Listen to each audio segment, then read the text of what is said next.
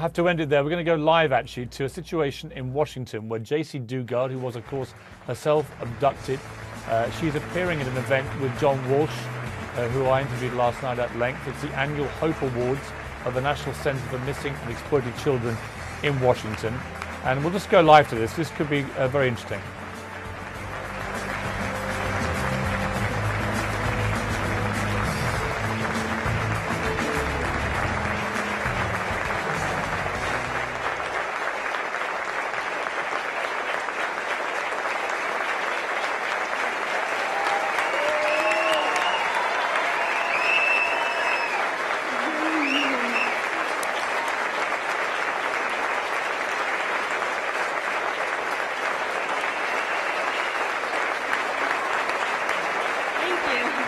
Thank, you. Hard to believe that uh, that story is me. Um, it's just thank you for tonight, and I want to say what an amazing time to be talking about hope with everything that's happening. Um, I want to thank the fa- Family Advocate Division team, especially Lene and Marcia.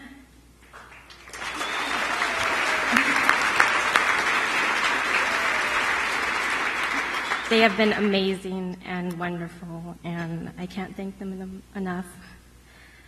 I feel like I have come full circle, and we are all finally together celebrating the wonderful hope that you at NCMEC keep alive every day.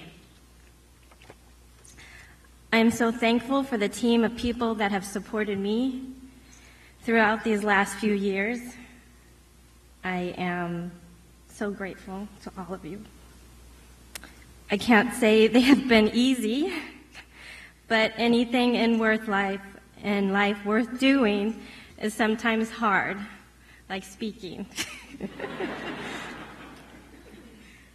I want to thank my mom for the hope she has always had for me, even when I was far away.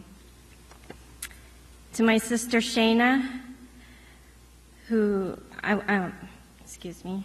To my sister Shayna, I want to say that although I wish that she could be here tonight, I want to say how proud I am of her today and every day. I want to thank all my family members for their patience and unconditional love and support. And last of all, I'd like all of us to remember to just ask yourself to care.